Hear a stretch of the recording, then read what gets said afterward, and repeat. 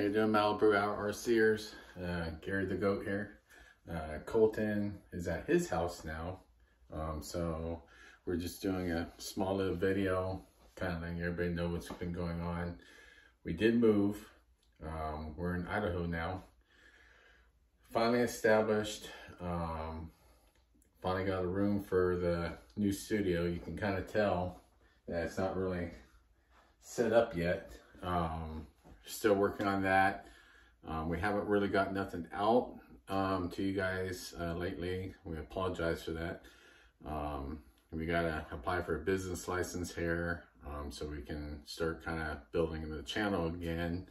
We're going to uh, probably get some t-shirts made, um, maybe contact a couple of our local hobby shops and see if they want to get on to the t-shirts with us.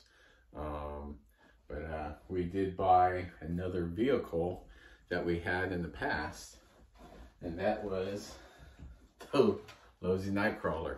Um, kind of missed it. We had it, um, then a friend of ours wanted us, liked it, and wanted to buy it. Um, so we sold it to him, and uh, we done some camping and just kind of really missed it. It's, you know, for the price of it, it's a really nice rock crawler.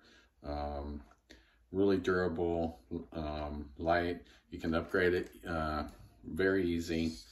Um, we're running the Spektrum batteries in it. Um, but with the uh, with this one, I don't think we're gonna really upgrade it. I was thinking about changing the tires out, but you know, for what it is, it's really fun and you know, sometimes you can just kind of upgrade these cars and just get overwhelmed with everything you kind of do with them. Um, but I think we're going to just kind of keep this one.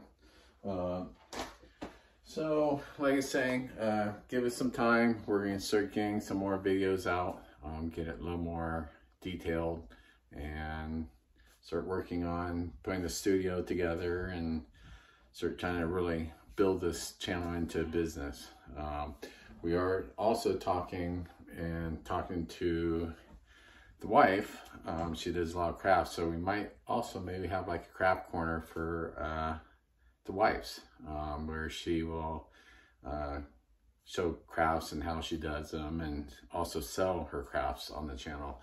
We haven't got to that point yet. Um, we've been kind of just kicking it around, seeing if she wants to do that. Um, so that's kind of what's been going on.